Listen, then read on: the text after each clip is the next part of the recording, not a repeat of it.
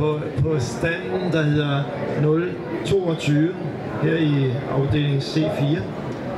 Øh, det er Bionyt Videnskabens Verden, og øh, vi har fået besøg af studerende Alonso, Alfaro Nunes. og uh, I would like to start with asking you simply what your research is about. Well, as you say, I'm a PhD student at the Center for Geogenetics